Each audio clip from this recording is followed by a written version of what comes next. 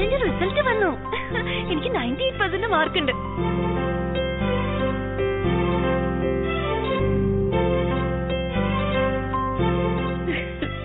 മോളെ മോളെ എന്റെ മോൾ ജയിച്ചല്ലോ.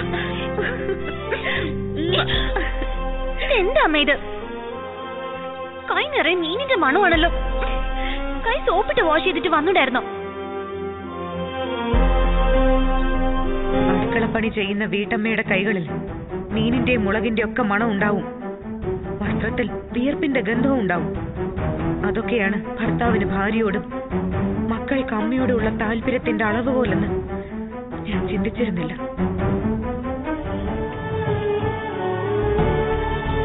സ്നേഹത്തിന് പ്രത്യേകിച്ചൊരു മണമുണ്ടെന്ന് ഞാൻ കേട്ടിട്ടുമില്ല.